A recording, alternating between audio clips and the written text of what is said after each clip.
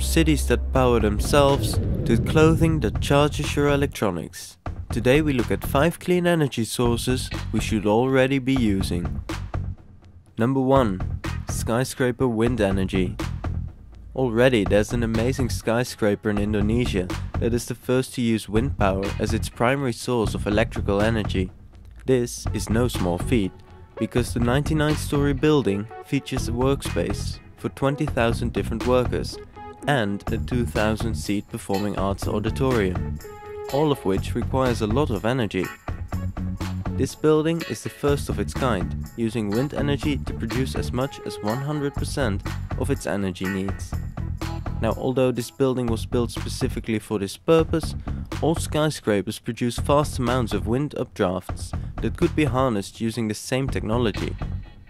If more people would start to adapt to this idea, soon we could have completely net zero energy skyscrapers in all major cities.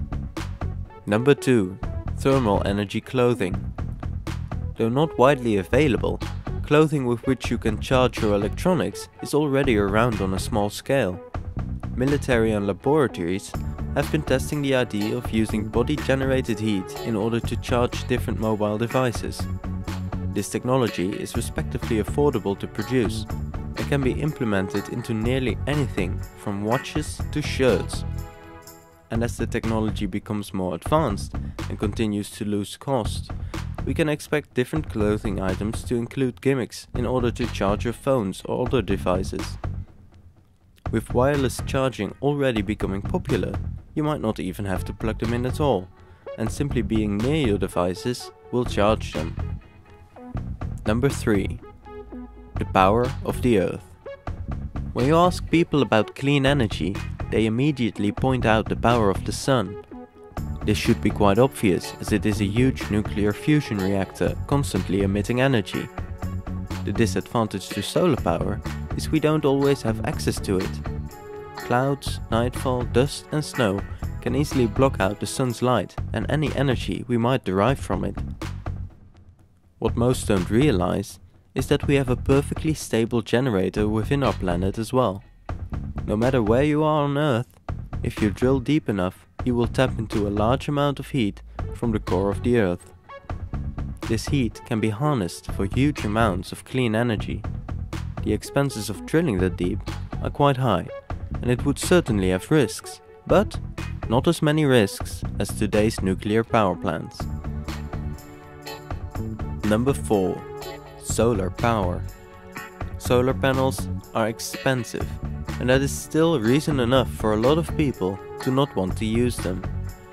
A couple of cities have finally put in the time and money to save themselves vast amounts of future energy costs.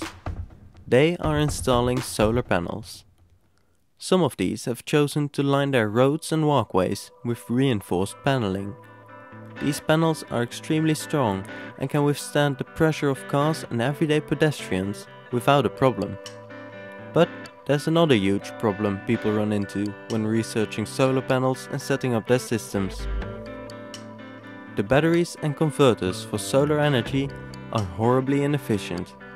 With most solar setups, you end up collecting a third of the energy being produced and again losing half of that in storage.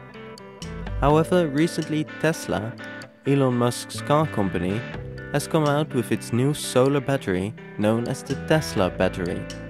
This new battery allows for solar panels to collect and store huge amounts of energy and only use it during the times of the day you need it. Since this is the first of its kind, we can expect that the technology will still improve and maybe even become part of your everyday life. Number 5. Antimatter Be it through the newspapers or Dan Brown's book Angels and Demons, lots of people have heard of antimatter's discovery and what antimatter has done for the medical field. In 1995, CERN announced it had successfully brought into existence nine anti-hydrogen atoms for a very short time. The energy antimatter produces is the maximum amount of energy that can be acquired through matter. In accordance with Einstein's theories, and through the infamous E equals mc squared formula, you can calculate the energy produced through antimatter. the energy produced is proportionally equivalent to the exact weight of the matter itself, making antimatter the most efficient energy in the universe. So why aren't we using it? Antimatter, as great as it sounds, is also extremely difficult to create and contain, costing more energy to create than it yields.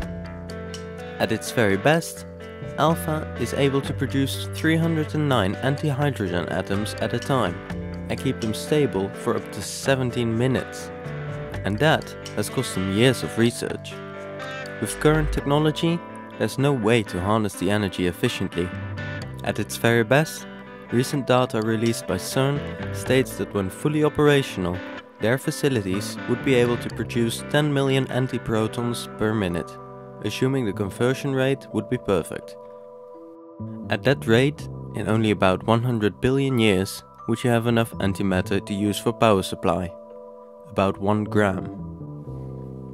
You've been listening to 5 clean energy sources we'd like to see more of. Let us know what you think about them by liking and commenting. And you can subscribe for more weekly episodes of Future 5.